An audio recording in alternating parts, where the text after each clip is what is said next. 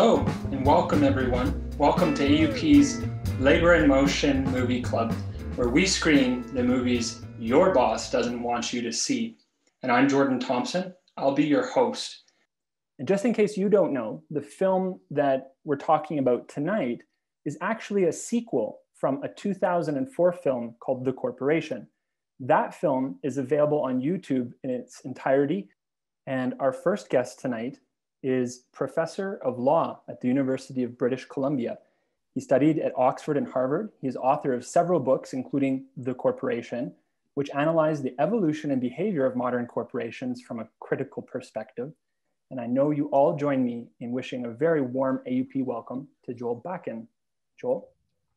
Thank you very much. I'm really delighted to be here. Um, I come from a, a union family. I uh, was brought up uh, with uh, lots of memories of my grandparents who were uh, organizers and members and activists in uh, the Ladies Garment Workers Union uh, as immigrants in, in New York City. Pleasure to meet you, and we're very glad you could join us.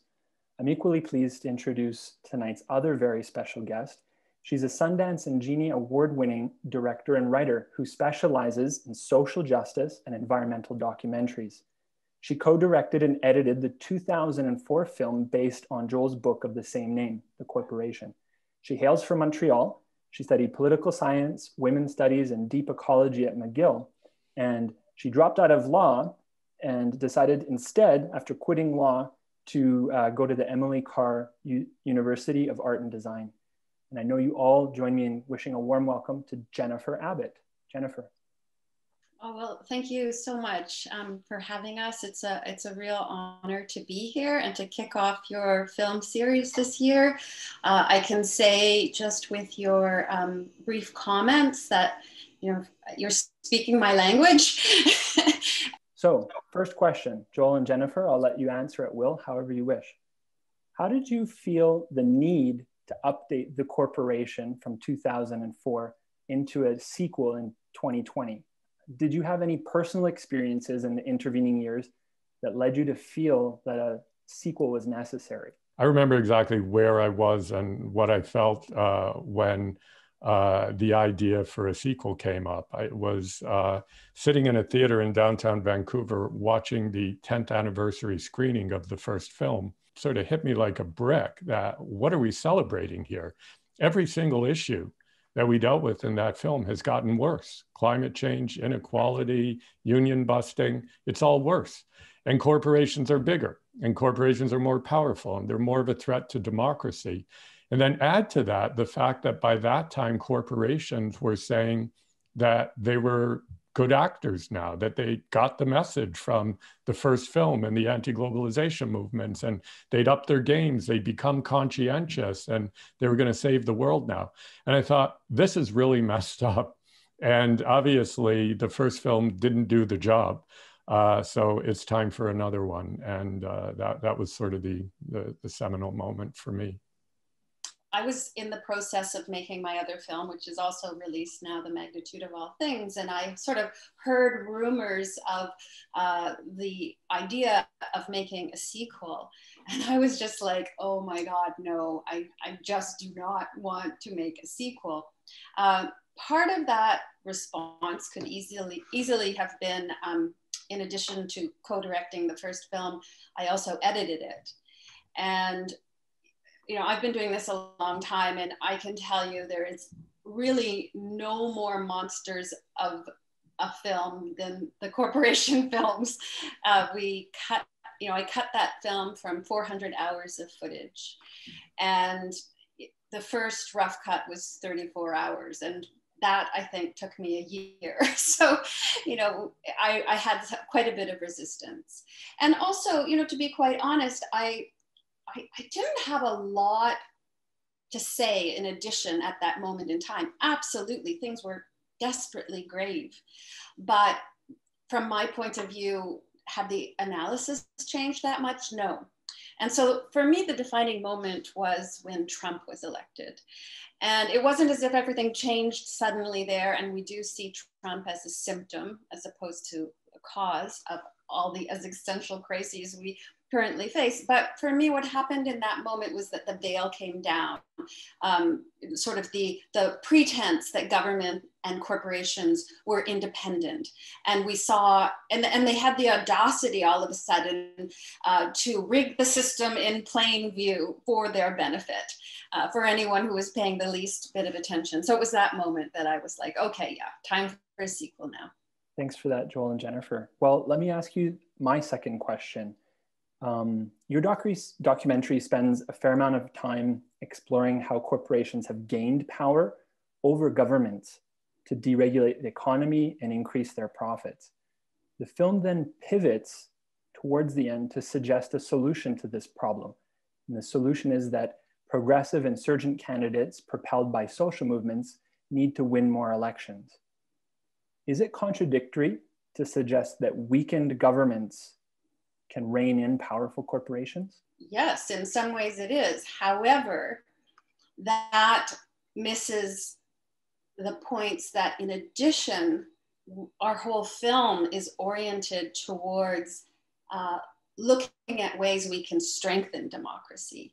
Because, really, in many ways, the primary protagonist and antagonist, you know, the primary protagonist of our film is democracy, and the antagonist is the corporation. And so, you know, we, we're trying to also explore ways that we can uh, you know, bolster the strength of government so that it has the kind of power it needs to to out you know to to be able to match the outsized power of corporations, which is admittedly very difficult given the uh, extraordinary imbalance currently. But I think you know there's a very important element and message to our film that goes along with that, which is really looking at the way neoliberalism has very successfully uh, suggested that there's only a minimal role for government. And in the you know in the last 40 years we see uh, this decline in the public's perception of what the government can do in society. And even the aspiration for democracy.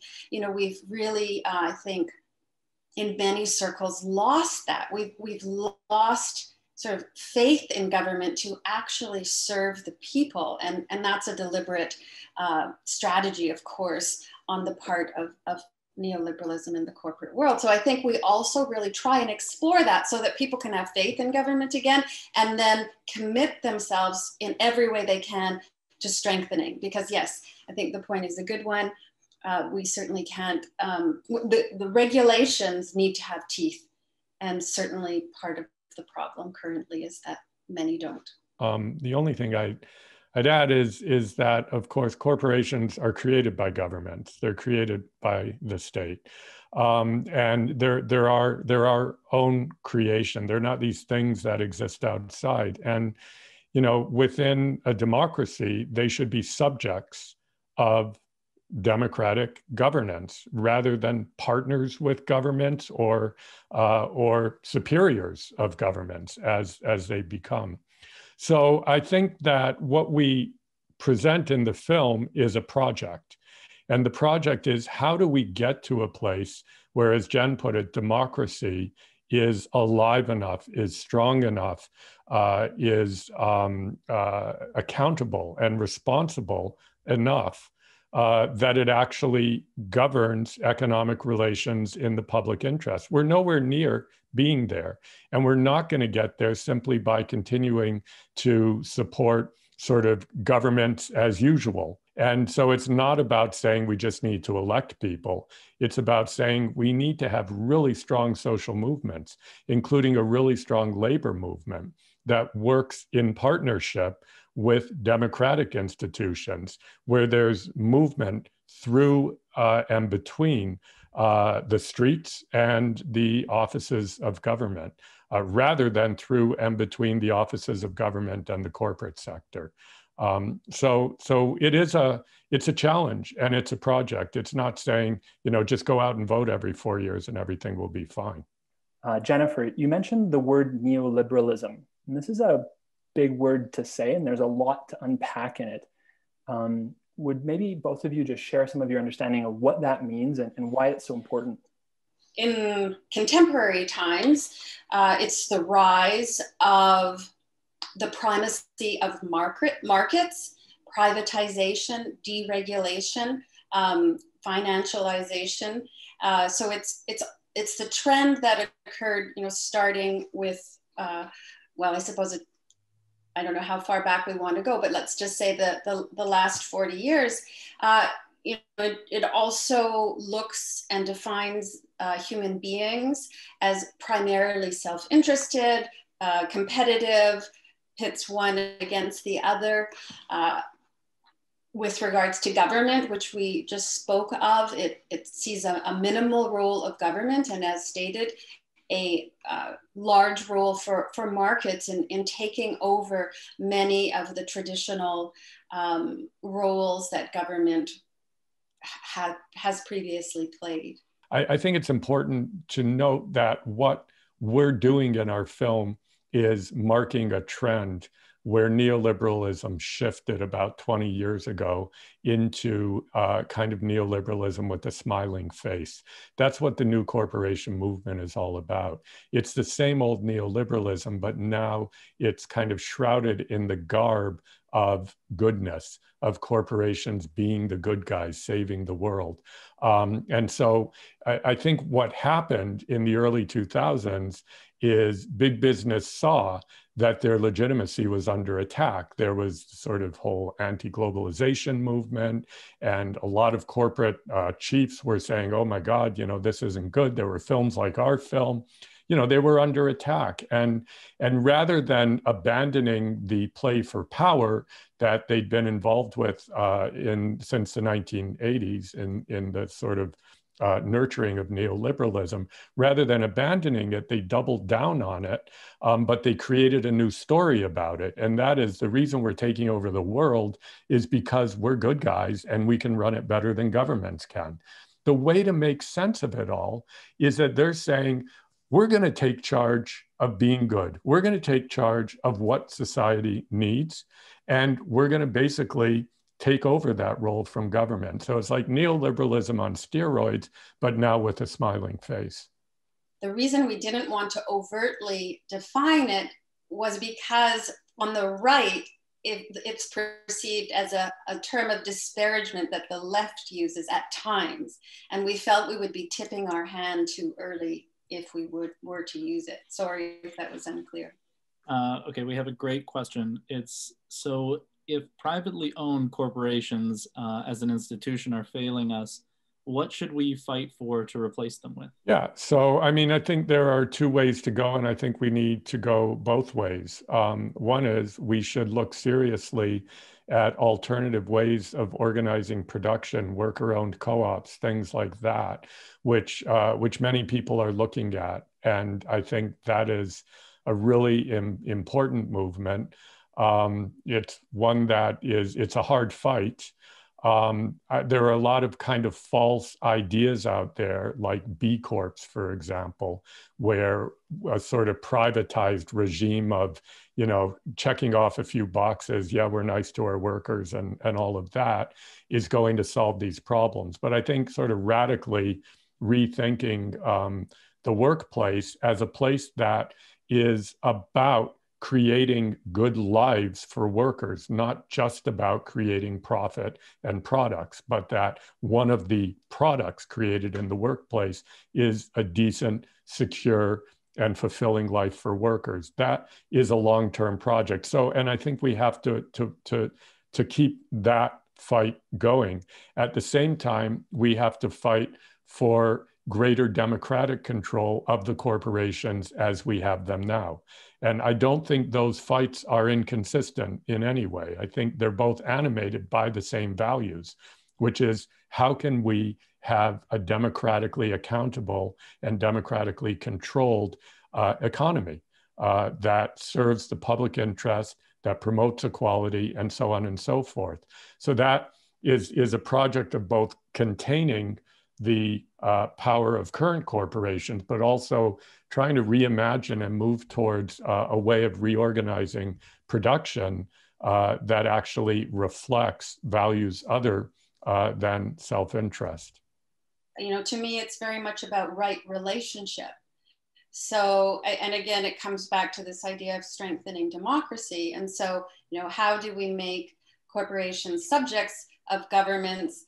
How do we rein in their outsized power? Of course, we're all looking very closely these days at the tech sector and antitrust and breaking them up potentially. And so it's sort of like, ha, you know, if we look, if we visualize it as a, a scale, a literal scale, like what steps can we take so that we have a right relationship? What we have to do as as citizens is continuously imagine that we can we can do better. Uh, we you know it's like the U.S. ideal of a more perfect union. Um, we we know what values are important we know that we need to take care of each other we need to have a solidaristic society we need to take care of the earth um, we need uh, to not subsume all of these values to simply individual greed and self-interest i mean that is and i think the labor movement do the same thing but with with working people it gives a collective voice to working people in the same way that a corporation gives a collective power to shareholders. And it's an absolutely essential um, balance, uh, not just in order to ensure that the membership of a union uh, is, is well served in, in terms of wages and benefits and occupational health and safety and all of that, um, but also for the, the larger um, uh, way of, of living democratically because that's what you do in a workplace that's unionized. Um, you are operating in a democratic institution and you're up against the power of another collective entity, namely the shareholders' desire to improve their wealth um, through profit.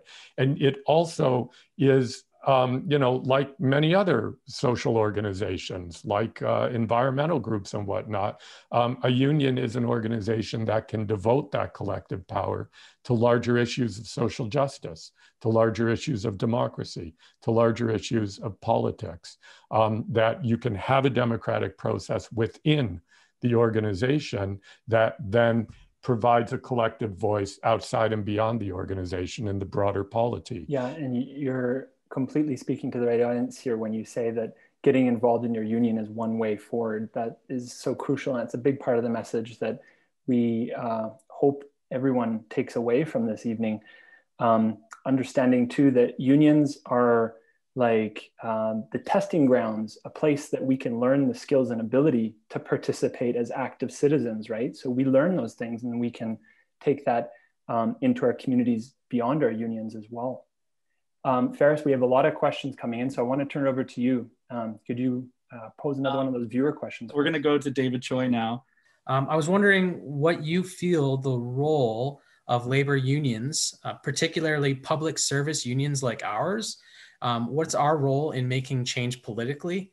And what can we do as individual union members to support that change?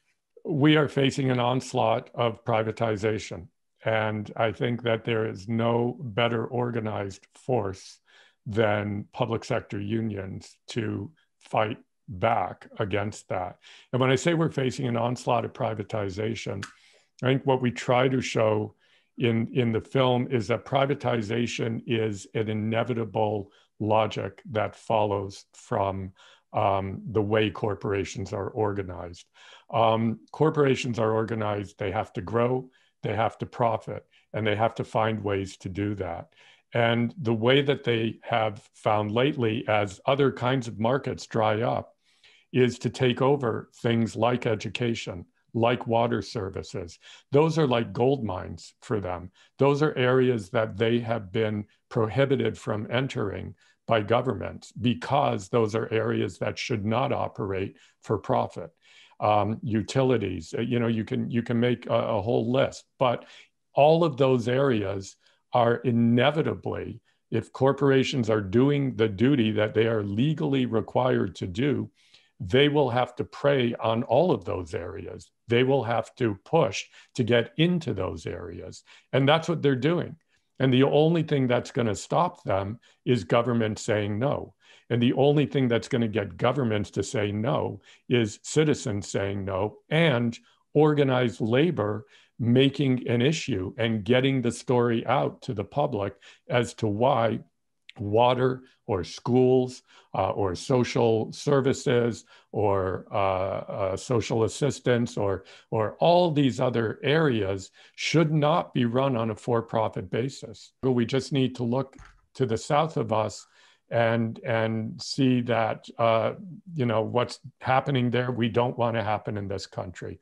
And the only way it's not going to happen uh, to public health care to education, to all these areas that are huge cash cows potentially for for profit corporations. The only way we're going to protect those is by fighting for them. We can't take them for granted because they're in the sights of for profit corporations, believe me, and not just Canadian companies, but uh, European companies that run water systems, um, uh, American companies that run education systems. They're looking at those sectors and saying, we want in and we want to profit from those sectors. So we have to fight back. I'll point, I think, to a silver lining of this moment in time, both with reference to the pandemic as well as the torturous four years, some literally, others metaphorically, that we've experienced uh, with Donald Trump. And I think what that has laid bare in many instances is really the extraordinary dangers of privatization. You know, and if we do look at the pandemic in particular with regards to the United States and all of the failures of uh, delivery of ser- services by the private sector.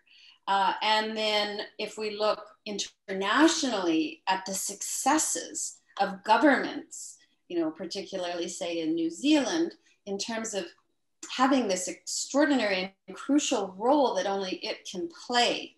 Uh, I think it's really perhaps changed the conversation so there's more re- receptivity to the value of keeping things in the private sector. Uh, okay, so uh, one question for both of you um, that uh, it would be great to, to hear more on that, you know, is, is touched on a little bit in the film is that, um, okay, so we know that corporations um, are pushing their agenda through politicians, which has led to decades of crushing uh, uh, changes in policies and regulations that have furthered the wealth gap. Um, and one thing that's the, about that is now we're seeing people um, both in the streets and taking up arms to defend that system that's crushing them. So we're seeing a rise in uh, people who are becoming militant and taking to the streets to defend uh, Donald Trump, who really embodies a lot of this um, this change in the system. And uh, and these are working class people who directly suffer from uh, the, these corporations and their and their policies. So, you know, why? What do you attribute to that? Why do you think that's happening? Um, if you could just talk a little bit about that, thank you. You know, I think that um, of course, we have the rise of Fox News, right, right, you know, like so many different right wing, you know, even further to the right than Fox News media. And as many people point out, we, we really are living in parallel universes. And so, you know, it's, it's, it's, I guess, you know, it's this, there's just this huge propaganda machine that is um, convincing people to act, act against their own interests.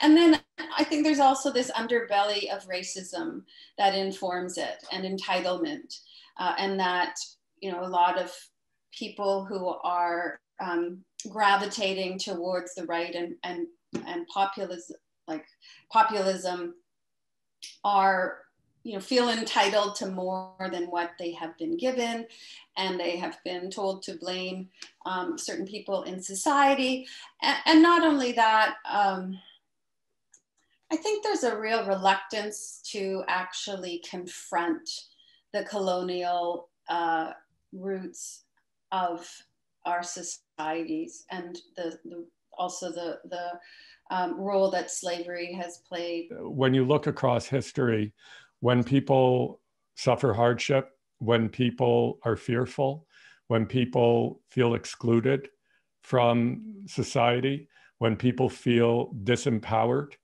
um, they can uh, start to look for others to blame. Uh, and I think that that we see that in a lot of the the, the rise of, of xenophobia, xenophobia, the uh, exacerbation of of racism, um, the just incredibly desperate acts like the storming of the Capitol that give people a sense of power when in fact they feel powerless, when they feel legitimately that the elites have have you know screwed them over because the elites have. Because what we've seen over 40 years is a radical opening of the chasm of inequality of the rich getting way richer the the middle class falling into poverty uh, disappearing in some ways the idea that you and your kids will have a secure union job, that you'll be able to retire with benefits, that you'll have health care. That's all gone. And that scares people. And they should be scared because that sucks. And to, to live without uh, security, to live without uh, proper health care, to live without proper housing, all of that is horrible.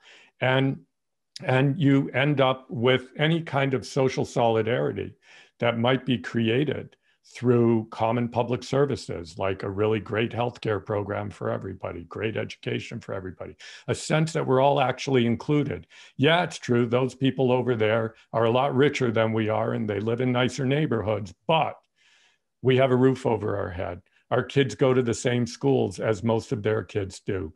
We get the same doctors and the same health care. That's what provides, that's what creates, we get the same clean water, potable water we get a decent um, uh, nutritional food. Um, we won't be left to fall through the cracks. That's what creates social solidarity. And that's what at least tamps down this incredible anger and desperation that I think we're, we're seeing explode in these situations. Um, you know, we have one commentator in the film saying uh, people get angry and, and about this inequality. And that may mean you know, wanting to build a wall on the southern border or uh, uh, activating for universal health care. You, you don't know which way it's going to go.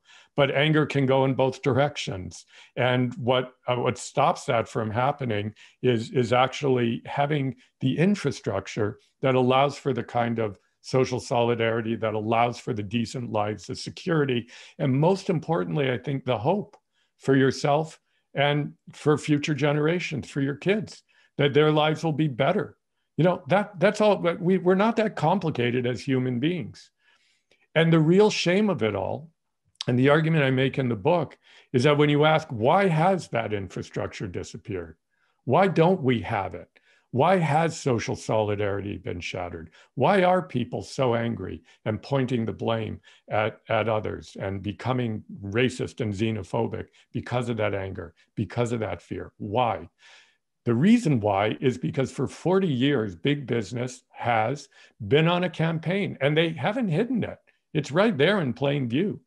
Just look at their campaign to privatize, look at their campaigns to deregulate, look at their campaigns to lower taxes. It's all there in plain view. They have been on a campaign to destroy the very thing, the social state, the social infrastructure that allows for social solidarity, that allows for us to live in a decent society. And that ensures that we don't have that kind of anger and that kind of fear, legitimate anger and legitimate fear, and that we can actually work together. You know, it's not kumbaya. It's not like you can create a society where you have radical inequality, radical insecurity, and then say, like Joe Biden did, and good for him. I mean, you know, hopefully he'll come through, but then say we all have to work together. That doesn't work. It only works to say we all have to work together if it feels like everybody involved is making some sacrifice, paying taxes, for example, in order to ensure a good social infrastructure and ensuring that people don't fall through the cracks. That's what's needed. And that's what's been destroyed. And big business, the corporation, is largely responsible for the campaign to destroy it. One thing we haven't addressed that I think is an, another dimension that's important to state is the role of patriarchy. Uh, I don't want to be essentialist around gender, but without question, you know, the it is gendered. Uh, you know, there, there is a greater um, segment of the population that is leaning towards right-wing populism who are males. Certainly, um, most, if all contemporary strong men are men. Am I wrong there? Oh no, there'll be Le Pen in France. Um, there may be occasionally uh, a woman um, taking on that role, but most of them are men.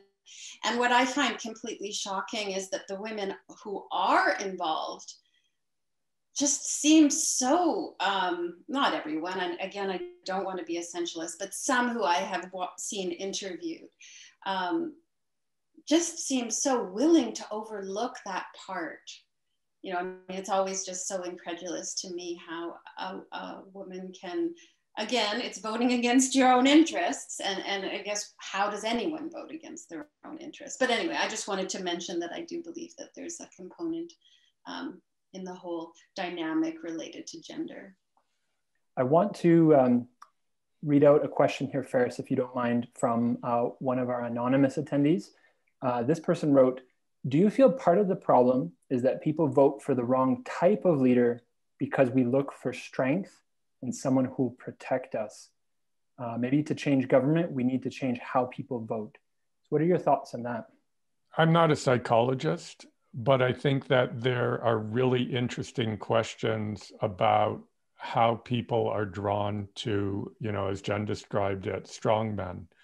Um, and you know, you don't have to dig, dig too deep into Freud and psychoanalysis to to think of the sort of the father that's going to take care of the patriarch that's going to protect and, and solve your problems. And um, and there may be some of that going on in this but uh, again i think where it starts and and it is a bit of a dog chasing its tail but where it starts is in people feeling legitimate anger and fear um, and and the reasons why they feel that anger and fear are what we have to get at. And i say it's a dog chasing its tail because you know how do we how do we get the kind of politics we need that will get us the kind of politics we need? How do we get to the point where people aren't searching for the strong leader where people are searching for the kind of political leadership that is going to try to uh, bring us together in real tangible terms you know by by ensuring that those three sectors are in proper balance the public uh, the private and the plural sectors, as Mintzberg um, describes it. Uh, and, and that ensures that the, the uh, uh, vast amount of wealth in society that is created by working people, not by bankers, not by CEOs, but by working people, that that wealth somehow uh, exists in some kind of uh, equality that allows people to feel that they are in fact a part of society uh, rather than apart from it. Uh, hi, uh, my name is Caitlin, and thanks so much for including me tonight. Um, I think one of the things that you mentioned kind of early on this evening was this idea that um, corporations have kind of made this campaign to undermine the idea that government can be a force for good in people's lives. And I think for myself, I spend a lot of time trying to think of ways to restore the public's faith in that idea that that the government can do things that actually help people and make people's lives better. And so I'd be interested to hear what your um, suggestions are, are things that we can be doing to help change that narrative and to counter that idea that the government is the problem instead of instead of corporate power being the problem? Sure. I mean, one of the things I usually start off those conversations with is just a, a transparent confession that yes, some governments are evil. You know, some governments do terrible things. You know, they're they're, and I think you know that's often overshadowed. You know, because those kinds of governments that we all know about well no i'm sure there's many things we don't know about but you know what i'm trying to say here it, you know i think that overshadows sometimes um, helped without question by you know the corporate agenda of dissing government but you know I, I, always just say look democracy is always aspirational but it is absolutely essential that we hold on to that aspiration and we continue to fight for it.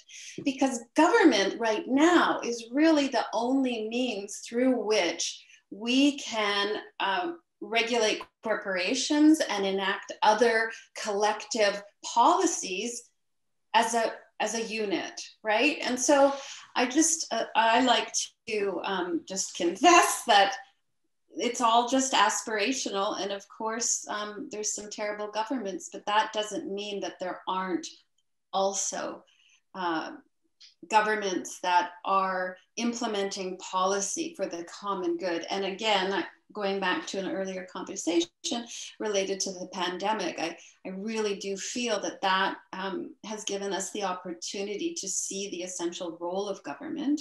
Uh, the other uh, the other issue, of course, is climate catastrophe.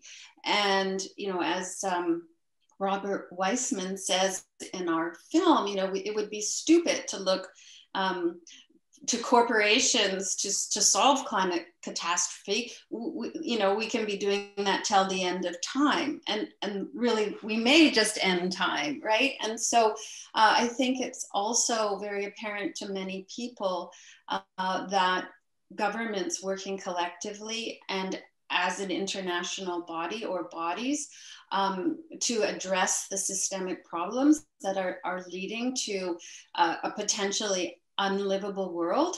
Um, I think a lot of people can really relate to that because what what are what are you know we're not going to we're not going to solve the climate crisis by in, as individuals changing to um, energy efficient light bulbs right so how are we going to implement collective policy and it's through uh, bodies of government right so that's how i like to look at it um, this is from David. Uh, what is the most effective way uh, to convince or um, organize our coworkers in fighting against corporate power?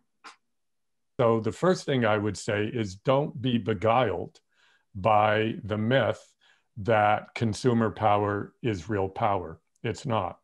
And so once you've sort of realized that, then the question is, so what do we need to do? How do we exercise our power as citizens? And that really, you know, gets back to a lot of what we've been talking about, that we need to think about acting collectively, that as individuals, there's not a whole lot that we can do.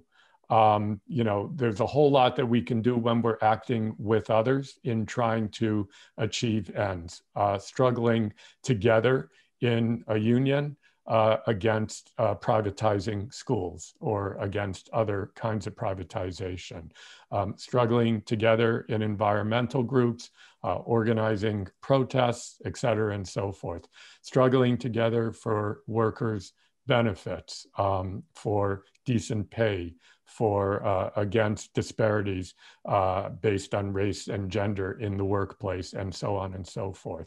But the idea is struggling together. So, you know, I think the the answer to the question, how do we organize for change, um, has to start with well we need to organize. That that would be number one.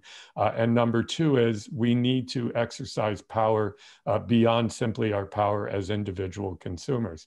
Um, beyond that you know, again, I wish I wish we had answers to all these questions.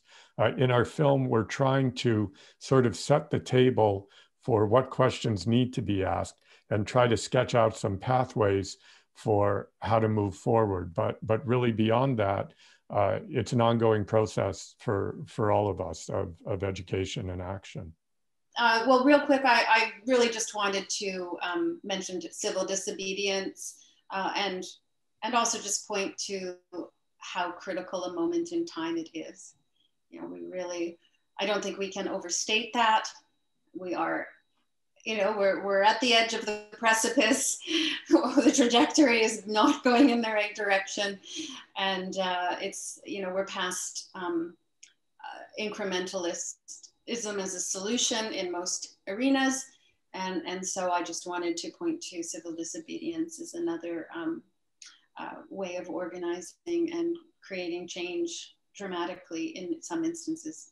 Your film discusses how the power of workers can halt production when you show the fight for 15. At about an hour into the film, you mention um, the socialist city councilor in uh, Seattle who uh, has been propelled to power on an agenda of a $15 minimum wage. And uh, aside from that moment, you don't explore a whole lot, except again at the end of the film, very briefly, um, the power of strikes of workers to withhold their labor, and then that would um, pressure corporations or governments. So I'd just like to ask you, um, was that an omission? And how do you feel about strikes in the struggle to rein in corporations? we had material at different times uh, that talked about this, that talked about the uh, the fact that inequality has skyrocketed in, in the United States in perfect um, correlation with the destruction of the labor movement in the United States, with right to work legislation in many states, with, with unions uh, going down to like 6% union density in the private sector. We had all of that in the film. And um, I, am not going to sort of get into all the, the politics and everything around things, but suffice to say, uh, we were always under pressure to make the film shorter, shorter, shorter, and shorter. And in order to deal with that issue, this is a really bad excuse, but in order to deal with with the labor movement, with strikes and all of that, you can't just kind of drop it in. And and so it was a whole sort of segment and sequence um, that really, really unfortunately uh, ended up ended up dropping out. Um, partly because of the kind of material we had that you, you know Kshama's story in Seattle is super dramatic. We didn't have the the right kind of material. Uh, you know, making a documentary on not a huge budget is it's it's tough. Um, but but I really do think that you've highlighted an issue. So uh, in the sequel to the sequel, uh, in another 10 years, when we spend a whole uh, sort of segment of the film talking about how the labor movement saved society from uh, from going in an undemocratic direction, uh, and that becomes the main protagonist of our next film uh, we'll be sure to uh, to include all of that.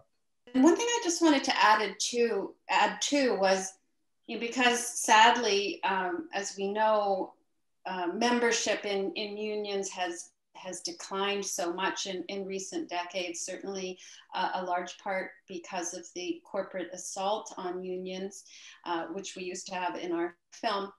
And so for me, I think in some instances, right now, until we can build up labor membership again, union membership again, it seems to me that some of the strikes that have been the, certainly the largest um, and the most effective, like some of the women's strikes uh, against sexual violence around the world, which have been huge, where, you know, and, and it's not based on membership in a union.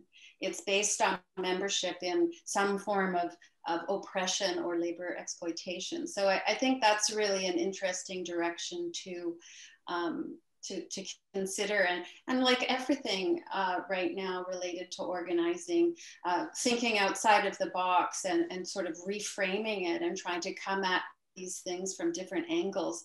You know, I think that's where we might um, hit on some uh, really effective strategies. And you know what? I just have to say, I have to go and I will tell you why, because um, it's very apropos uh, when I originally booked this, but I've been trying to get into a housing co op, nonprofit housing in Vancouver for a year and a half.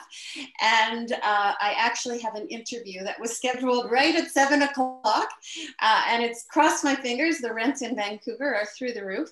Uh, so I have to go to try and get into not for profit housing. But I want to say, first of all, please, anyone that wants to go have a deeper dive, it's a brilliant book. Joel's book, The New Corporation How Good Corporations Are Bad for Democracy. And, and thank you so much. This was a really um, inspirational uh, conversation. And, and I, I, really wish everybody so much, uh, so many good wishes for the work you're doing. And, and, I, and we're there in solidarity with you.